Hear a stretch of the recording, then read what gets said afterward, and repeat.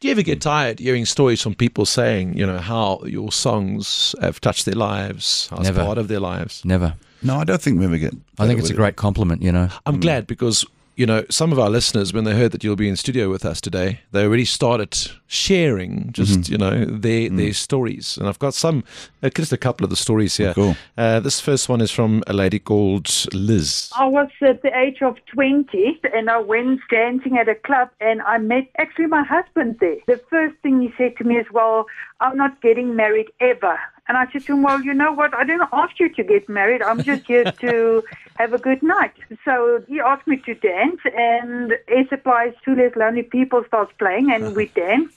Three months later, he asked me to get married. and a year later, um, we got married and we opened the dance floor with Two Less Lonely People. And till today, I remember each word of that uh, love song. And we will be married this October, 21 years. And I love their music. They are absolutely gorgeous. It can't ever get old, you know, It- you especially know, people doesn't. singing your, your words It back doesn't, to you. Yeah, that's what it's all about. You know, uh, if I go to a, a concert, I want to.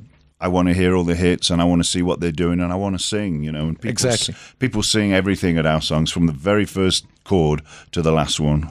That was a very normal story, but uh, Sylvia has a, has a slightly different love tale. Let's listen You know, when I was in my teen years and I decided that I wanted to complete my nursing degree, and I was in my final year and working in the plastic surgery ward, and um, I came around the corner taking charge of the ward, and I saw this young man, gorgeous man. So I looked at him and I thought, hmm. But you know what? As a nurse, you're not supposed to look at patients or doctors. Only really to find out that he was my neighbor across the road. Um, and my dad, my late dad, said to me, "No biker boys, let alone a Hells Angels driver."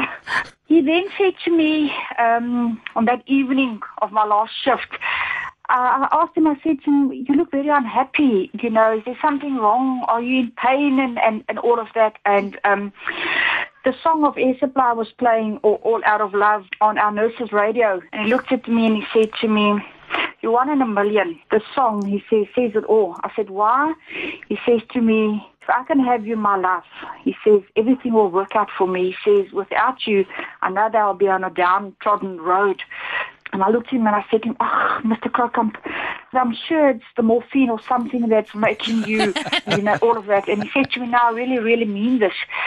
Yeah, come the 7th of May this year, when we go to the voting stations, we will be married 31 years. Oh, so whenever, wherever we are, we obviously are very huge Air Supply fans. All Out of Love is just one song that will stay with him and for me.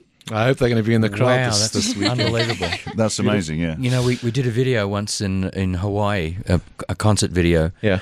And some years later, this lady was at one of our shows and she said that when her first child was born, she had the video playing in the delivery room Wow. because she wanted her child to be exposed to our music. Oh, man. The first thing into the world, you know. Oh, wow. Isn't that amazing? This is MBD TV. Martin Best. Best Best the Drive. Jacaranda FM.